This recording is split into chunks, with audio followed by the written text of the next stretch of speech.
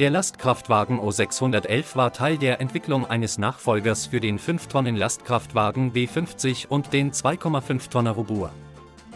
Die Entwicklung mit zwei Fahrzeugtypen sollte sich durch einen hohen Standardierungsgrad auszeichnen. Das Fahrerhaus wurde als FH 6400 bezeichnet und sollte ebenfalls für beide Fahrzeuge verwendet werden. Die Entwicklung dauerte insgesamt von 1971 bis 1980. Es wurden 19 Prototypen gebaut. Das Feuerlöschgerätewerk Görlitz baute auf dem 14 Funktionsmuster des Robur O611 einer Feuerwehrfahrzeug auf. Das Fahrerhaus war um zwei zusätzliche Elemente zur Aufnahme des Löschtrupps erweitert. Dieser Prototyp war eine Allradvariante wie aus der Bezeichnung zu erlesen.